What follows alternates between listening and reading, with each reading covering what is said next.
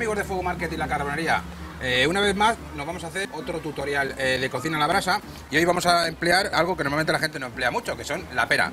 Nos hemos hecho unas eh, brochetas de bacon, pollo y pera, que una vez que las pongamos a la brasa, luego un ratito después las vamos a pincelar con un poquito de miel y van a quedar de escándalo. Estamos utilizando el accesorio de Weber que se utiliza para, para hacer las brochetas a la brasa, que las podemos dar la vuelta con facilidad.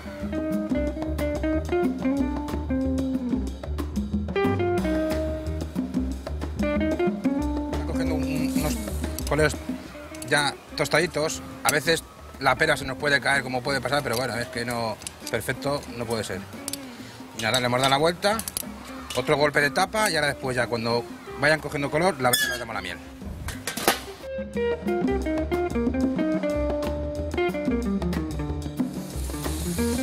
Encima la miel ahora va a caer ahora sobre, sobre las brasas y va a hacer todavía que se perfume más.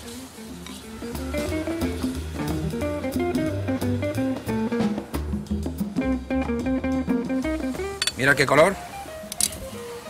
Tener cuidado con las brochetas metálicas. Bueno, y con la de madera también, porque te puedes quemar.